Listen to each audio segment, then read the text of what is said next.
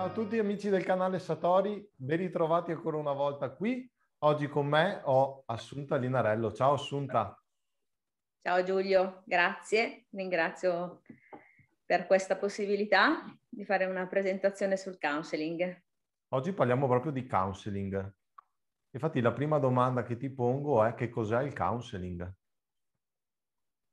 Allora, il counseling è una relazione d'aiuto e soprattutto io direi una relazione umana, perché si rivolge a una persona e quindi i valori umani sono sempre quelli da tenere prima di tutto, secondo il mio punto di vista, in considerazione.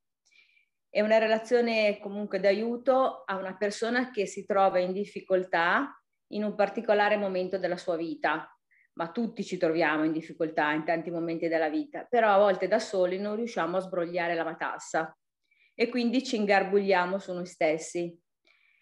E frustra- quindi avvengono momenti di frustrazione, momenti di, di ansia, momenti di non ce la faccio e quindi rivolgersi a un professionista che in questo, in questo caso è il counselor ti aiuta appunto a vedere qual è il capo della tua matassa e da lì iniziare il tuo viaggio.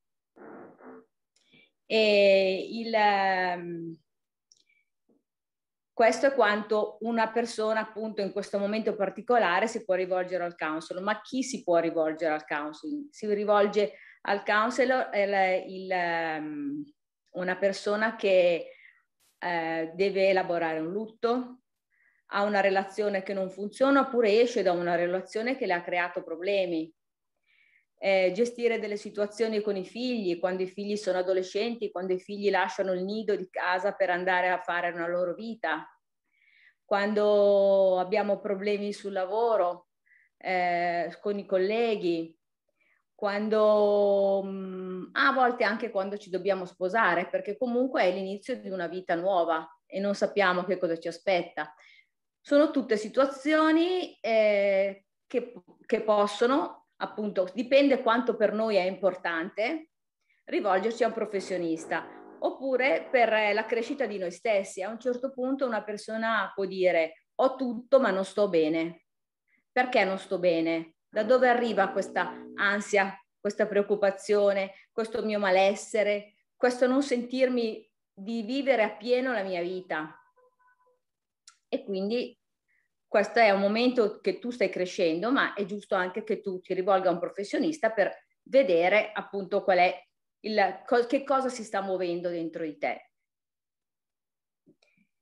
E il, um, il cliente è colui che arriva dal counselor, perché per noi sono clienti e non pazienti, perché non sono persone malate, ma sono persone sane che appunto, come ho detto, in un particolare momento della vita hanno bisogno di un supporto, di un appoggio, eh, di un sentirsi anche, di un sentirsi accolti, perché non è vero che dentro di noi ci sono tutte le risorse e il counseling ti aiuta a tirarle fuori, solo che a volte noi non le vediamo, non le vediamo perché siamo in un momento di nebbia, in un momento dove ci focalizziamo solo su quel problema e non vediamo altro.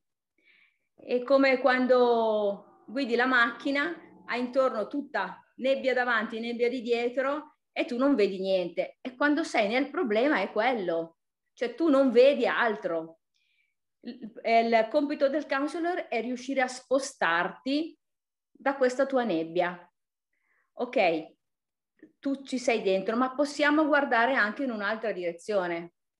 Per esempio, esplorare il tuo mondo e vedere che cosa c'è nel tuo mondo.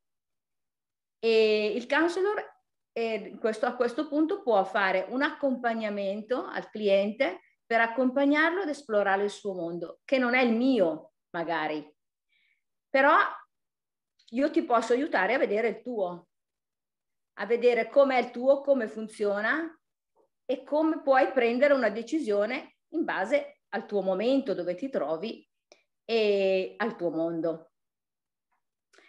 E nel counseling il cliente deve sentirsi innanzitutto accolto, perché l'accoglienza è la parte fondamentale per una persona eh, deve, essersi, deve sentirsi mh, al primo posto, direi, sempre al primo posto. Cioè è lui che è l'artefice, è lui che è l'attore in quel momento.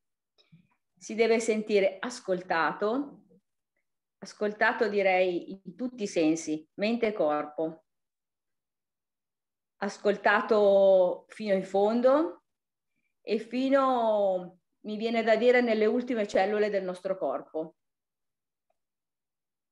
Deve sentirsi preso per mano per fare questo pezzo e avere voglia di farlo insieme a noi, perché è un pezzo della sua vita ed è molto importante. Si deve creare anche un'empatia che è molto importante perché il, um, rapporto funzioni e perché ci sia appunto del, del sentito nell'altra persona, in modo che tutte e due le persone riescono a interagire per arrivare poi all'obiettivo, che è l'obiettivo comunque del cliente, che viene stabilito all'inizio, questo non l'ho detto, viene stabilito all'inizio quando iniziamo una, la prima sessione di counseling, viene stabilito una, un obiettivo dove il cliente vuole lavorare e lì lo fissiamo, lo scriviamo e il nostro scopo è il raggiungimento di questo obiettivo. Ok. Eh, questo, hai altre cose? Sì, io confermo queste cose perché con te ho avuto il piacere e l'onore di poter eh, stare e di poter lavorare con te su di me eh, nel corso di questi sette mesi e devo dire che mm. la parte più bella ed interessante è stato proprio l'accoglimento, il fatto che una persona ti, ti tenga per mano e che ti accompagni lungo un percorso senza dare giudizi, senza entrare nel merito se quella cosa è giusta o sbagliata, ma stando semplicemente lì ad ascoltare il mondo di quella persona e quindi ad abbattere anche i giudizi. Perché almeno per certo. me il fatto di raccontare qualcosa a qualcuno era un po' un limite perché pensavo chissà questa persona cosa pensa di me che magari sono un fallito nella vita, però in realtà non è così perché quando siamo nella nebbia, come hai detto giustamente tu, non si riesce a vedere nient'altro. Così. E quindi la seconda domanda è che cos'è un cambiamento? Che cosa avviene? Il cambiamento appunto è dove ti porta, eh, dove insieme per, percorriamo la strada. Mi viene da dire dove ti porta il counseling, in, in, il counselor in base a quelli che sono i tuoi obiettivi, ok? Però io voglio vedere tu a che punto sei. Quindi il cambiamento deve avvenire in una maniera graduale, passo dopo passo, e soddisfando innanzitutto quelli che sono i tuoi bisogni, cioè i bisogni del cliente. Io in quel momento capisco che ehm, per me può essere importante una cosa, ma se tu in quel momento ehm, sento, sento proprio perché è il sentito la cosa importante, non la testa, ma il sentito, io sento che tu hai bisogno di qualcos'altro, io ti accompagno in quel pezzo. È qui che avviene il cambiamento proprio portarti in una direzione che magari per te fino a quel momento era sconosciuta, oppure pensavi di non arrivarci, di non riuscire ad arrivarci mai. Invece passo dopo passo arrivi a quella consapevolezza che non, magari non pensavi neanche di raggiungere o che non era neanche nei tuoi schemi. Cioè non era una cosa che in quel momento ci stavi pensando. È come se si accendessero delle lampadine e dici, ah, è proprio questo, wow, è proprio qui che devo andare. e questo mio, la mia strada. E passo dopo passo diventi sempre più consapevole di quel pezzo di strada che stai facendo, perché è proprio il tuo pezzo di strada, perché ognuno poi lo, il cambiamento lo fa a modo suo, non c'è una, un, una strada che tutti percorriamo. Ognuno sceglie la strada che vuole fare.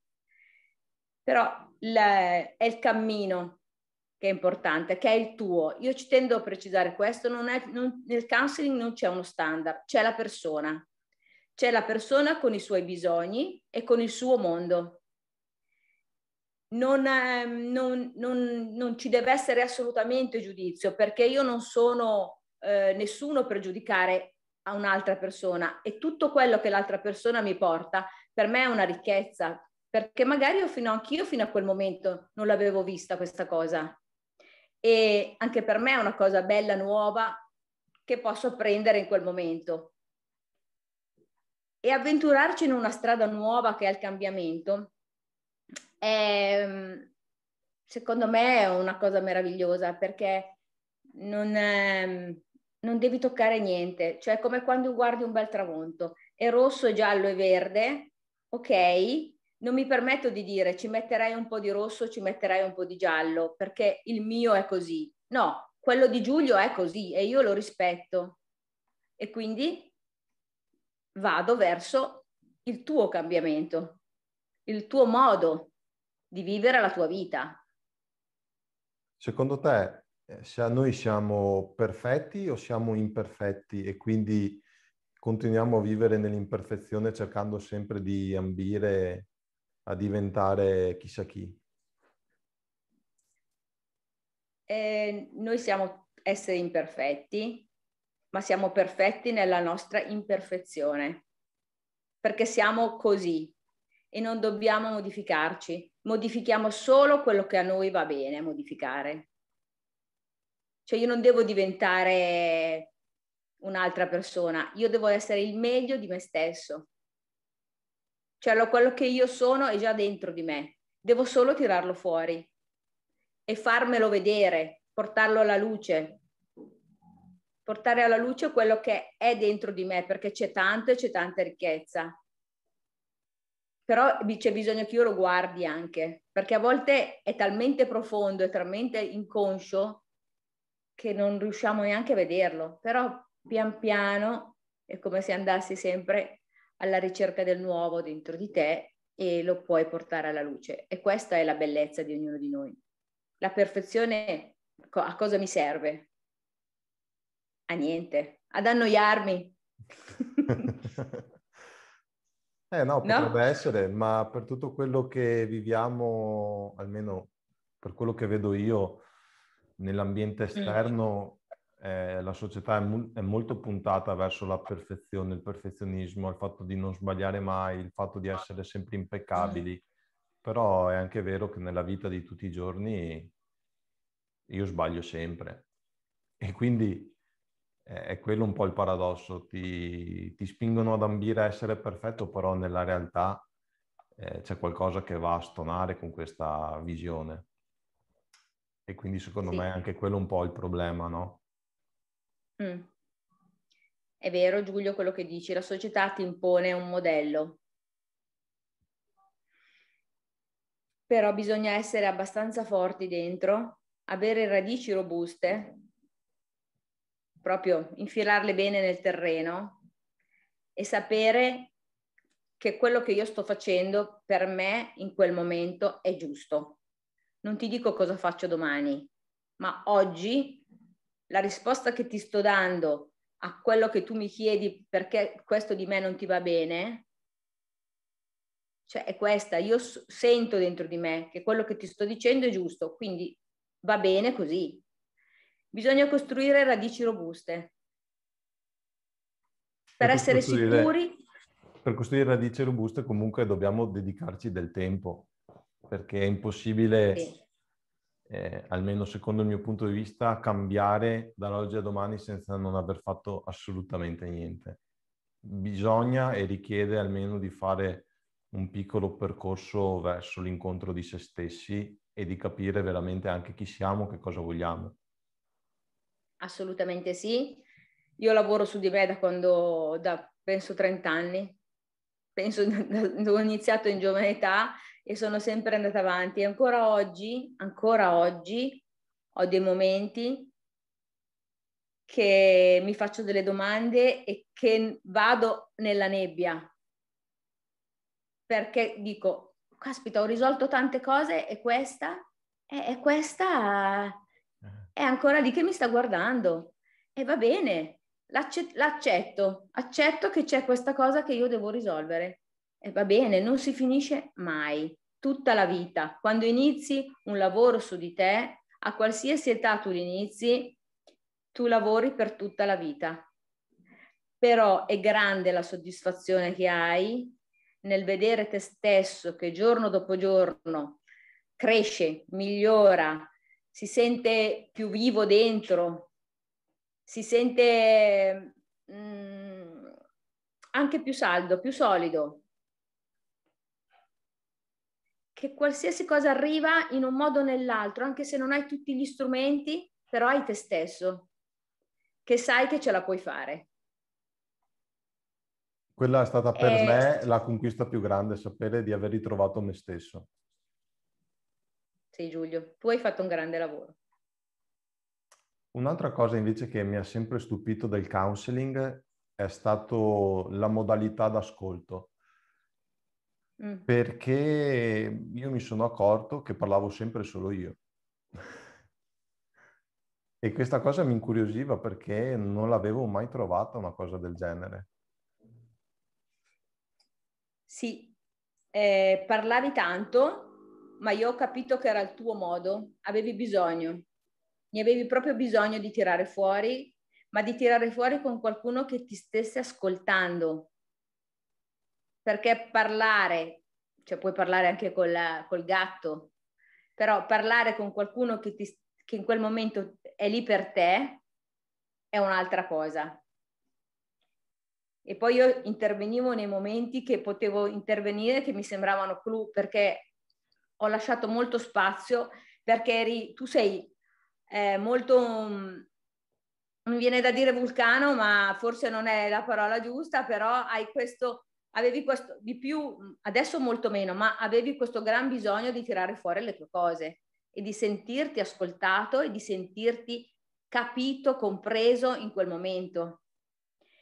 E anche di, che fa parte, è tutta, tutta, questa, tutta questa bella pappa qua, è tutta roba di counseling accettato, visto, avevi bisogno di tutto questo e io te l'ho lasciato esprimere perché era giusto così. Ma ogni paziente è a sé, ogni, ogni persona è a sé. Cioè tu hai questa modalità, un altro magari è in silenzio e hai bisogno di tirare fuori le parole. E quindi uno si rivolge al cliente in base a quello che è ed è da, è da lui che deve riuscire un po' con la maieutica, mi viene da dire, proprio eh, è come fosse un parto. Sai, quando partoriscono le donne, che a volte in alcune persone devi proprio tirare fuori, piano piano tirare fuori le parole fino a liberarle completamente. Eh, sì, e la, il counseling fa anche questo, in base a chi hai davanti. Beh, certo. Ogni persona è singolare, unica e quindi avrà una modalità e un sentire il mondo, un percepire il mondo completamente diverso dal mio. Certo, ognuno è unico. E invece un'altra cosa che mi ha stupito è stata il fatto di io dover trovare le soluzioni. Io sì. pensavo da, da profano che l'altro avesse la bacchetta magica nei miei confronti. Ma nel counseling eh, non l'ho trovata questa bacchetta magica, o, me- o, meglio, l'ho trovata dopo. Il compito del counselor è quello di tirare fuori da te le tue risorse. Tu le risorse le hai, come ciascuno di noi, quindi io non devo darti mh, mm, il consiglio, il counseling non dà consigli. Io ti insegno a pescare il pesce, però il pesce te lo peschi tu. Perché la tua modalità di pescare il pesce non è la mia. Il tuo mondo non è il mio.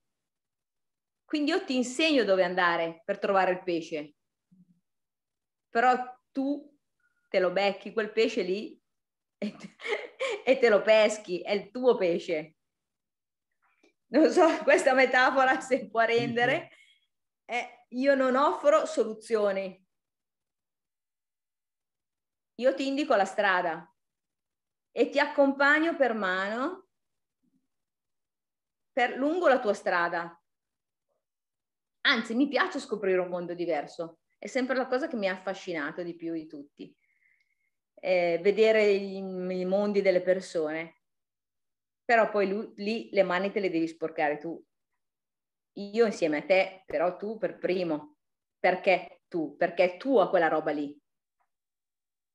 Cioè, le mani in pasta ce le devi mettere tu dentro la tua cacchina, ci devi entrare tu. È vero questa cosa.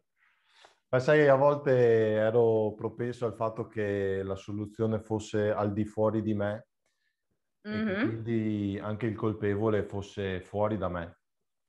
Certo. Ma gradualmente attraverso un percorso appunto con il counseling con te sono riuscito a vedere, a sentire che nulla era fuori da me, ma era tutto dentro di me. E questa secondo me è stata una grande conquista, perché dopo mm. non hai più da dover indicare un responsabile. I responsabili siamo noi che dobbiamo assumerci la nostra responsabilità di quello che ci succede, di come ci comportiamo, al di là dei certo. giudizi. Certo, la responsabilità è solo nostra, gli altri ci fanno del male perché noi glielo permettiamo. Gli altri ci trattano in un determinato modo perché noi glielo permettiamo. Perché se noi mettiamo i nostri confini, gli altri non entrano. Perché capiscono che da lì non posso passare. Cioè siamo noi che dobbiamo essere pronti a difendere il nostro territorio, come fanno gli animali. Dobbiamo molto da imparare anche da loro. Eh, ho voglia. Dalla natura tantissimo, dagli animali moltissimo. Loro difendono molto più di, di noi il territorio. Noi a volte ci facciamo saltare in testa delle persone perché non lo sappiamo, perché non abbiamo gli strumenti, per tante cose, però ehm, se sei pecora il lupo ti mangia. Eh? Mm. Eh. Quindi innanzitutto avere la consapevolezza di chi sono io, dove voglio andare. Secondo me queste cose bisognerebbe impararle già alle elementari. Per arrivare pronti nella vita ed essere in grado di fronteggiare anche eh, il compagno di banco, perché già lì si vede, cioè chi, è, chi ti sottomette. Già in quell'ambiente lì bisognerebbe fare delle, delle lezioni a scuola per insegnare già ai bambini chi siamo e come difendere il nostro spazio. Io non posso dare tutto a tutti e, e a me? Io prima devo soddisfare i miei bisogni. Poi, se ho voglia e desiderio, posso anche aiutarti o soddisfare i tuoi. Però se non sono pieno, se non sono pieno io di me, non vado da nessuna parte. L'errore spesso si commette è proprio quello di essere vuoti e cercare di dare agli mm. altri qualcosa che non abbiamo. Ma anche semplicemente il fatto di essere accettati, di essere ammessi all'interno mm. di un gruppo di persone, che sia di lavoro, che sia una relazione col compagno, la compagna, insomma. Spesso ci sono questi, queste perversioni mentali, mi verrebbe da definirle più così, questi comportamenti, mm. ecco, per essere più, più precisi. E concordo anche sul fatto che i bambini andrebbero, andrebbe fatto sviluppare loro anche l'empatia, perché ultimamente manca anche quella in una società, in un sistema dove si valutano sulla competizione chi ha il risultato migliore, chi è più bravo, chi è più veloce c'è qualcosa che poi va a perdersi, perché chi magari ha i suoi tempi ed è un attimo più lento ha gli mm. stessi mm. diritti di tutti gli altri. Però c'è una discriminante perché il bambino che magari resta indietro è visto come un problema purtroppo. Certo, ma il bambino che resta indietro magari ha altre attitudini che non vengono neanche viste. Magari è un creativo, magari è un bambino che sogna, però queste cose non vengono considerate. Viene valutato solo il rendimento o se tu sei bravo, se emergi, ma mi sembra un po', per me vecchia questa, questo modo di, di, di insegnare. Il bambino va visto nella sua globalità e certe cose se le impari a scuola ti, ti sentirai sicuramente un adulto migliore. Perché sei capito. Non affronti la società con la paura che già ti hanno inculcato nelle scuole elementari. Ma affronti la società ma con un altro spirito che è wow, io ce la posso fare perché non ho questo, ma ho questo, questo, questo, ma arriverà anche quello. Se mi dai sicurezza, io arrivo anche lì. Se mi dai forza, se credi in me, io ce la faccio. È quello, credere in, in chi crede in, in, noi se non noi? Eh? eh? Chi? Questa è una bella Chi crede in noi? Nessuno. Se non siamo noi a dire io ce la faccio, nessuno dirà Giulio ce la fai, ce la fai sicuramente. Mm, non è la stessa cosa. Perché magari viene detto con quel tono che non ti arriva proprio come eh, quello che tu vor- vorresti. Però se già la maestra a scuola ti dice Giulio ce la fai, sono sicura che ce la puoi fare, c'è uno stimolo in un bambino, questo bambino cresce ed è sicuro di farcela.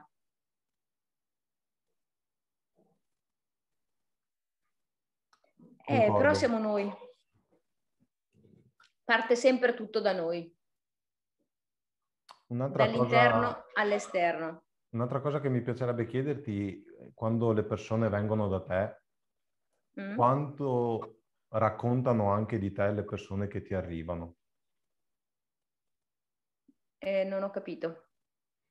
Se io vengo con una problematica, non lo so, dovuta a una relazione sul lavoro, quanto sì? ti riguarda poi anche quella cosa? Cioè è uno scambio o è soltanto una, una seduta senza scambio? Ok. Allora, eh, dipende dipende. Se io posso offrirti qualcosa che per te può essere di aiuto eh, e io l'ho vissuta o la sto vivendo, io la, le, mm, ti offro quello che è stato il mio pezzo. Non è detto che sarà il tuo, però ti offro il mio. Magari tu la vedi in un altro modo, ti aiuto a vedere il tuo in, come lo vedi tu e dove vuoi arrivare per esempio, se io litigo con una persona, cioè se una persona per un periodo di tempo mi boicotta e mi, una collega che mi assilla, mi assilla, mi assilla continuamente, uno dice dopo la terza volta io quella, quella la stronco, ma è la sua modalità. La mia può essere io aspetto, gli mando degli input, però aspetto, aspetto, aspetto, magari fino a non poterne più e poi esplodo. E sono due dinamiche diverse che io ti posso raccontare la mia, però magari la mia non è, non è la tua. Però sono tutte e due valide. Però il fatto che sia successo anche a me magari ti può aiutare a dire, vabbè, allora non sono la sola, se lei l'ha superato posso farcela anch'io. È come uno stimolo a, a vedere che una persona comunque ce l'ha fatta e che le cose non capitano solo a me, perché alcune persone a volte di, sono mh, mm, convinte che la vita ce l'abbia con loro, e che tutto succeda loro e che ogni giorno la vita gli offre qualcosa di brutto, eccetera, eccetera. Insomma, sono un po' catastrofiche, però la vita è questa, non possiamo dire non mi succederà più niente perché io ho superato tanti momenti della vita. No, io li ho superati quelli. ma non voglio essere vittima. So che la vita mi sfida e ogni giorno mi sfida. Ogni giorno mi mette una... Vediamo se questa ce la fai, vediamo un po' se questa la superi. Eh, sì, io mi impegnerò a superare anche questa. Una, questa sfida è una crescita. È sempre un pezzettino in più. Perché come parlavamo anche noi, pezzettino dopo pezzettino dopo pezzettino arriva una grande cosa. Arrivi a comporre un bel puzzle dopo. Mm. eh sì, però l'hai fatto. Certo, e quello che per te ieri era un male, mm. oggi è la, è la tua benedizione più grande. Certo, certo, perché a volte noi non ci rendiamo conto, ma da quel male che ci è, arrivato, in quel momento lì vorremmo veramente mm, tirare fuori il mondo per dire tutte le cattiverie che ci vengono in mente ma poi quando vedi che pian piano tutto si calma, arrivi alla fine e dici, caspita però, che cosa ho imparato da questo? Ma ho imparato tanto, ho imparato questo, questo, questo. Alla fine quasi devi ringraziare chi ti ha procurato quel dolore. È vero, è vero. Perché se oggi sono così è anche grazie a quello. Certo questa è, è vita, è proprio snocciolare i nostri momenti di crescita. Assunta, se qualcuno volesse venire a trovarti, i tuoi contatti quali sono? Te li devo scrivere o te li dico a voce? No, no, no dimmeli a voce. Allora, la mail assuntalinarello chiocciolalibero.it il telefono 347 68 86 348. E poi ci sono su Facebook. Ok, sotto? E, e su Instagram. Ok, perfetto. Quindi per coloro che volessero andare a farsi ascoltare un po' e a torturare l'assunta, cosa che ho fatto anch'io per tanti mesi, vi consiglio di andare perché è veramente una persona incredibile. Assunta, detto questo, io ti ringrazio per, eh, per il Grazie te, per la tua presenza e noi ci sentiamo più avanti con calma. Presto. Ciao, Assunta, grazie, grazie Giulio, è stato un piacere. Ciao. Ciao, ciao, ciao.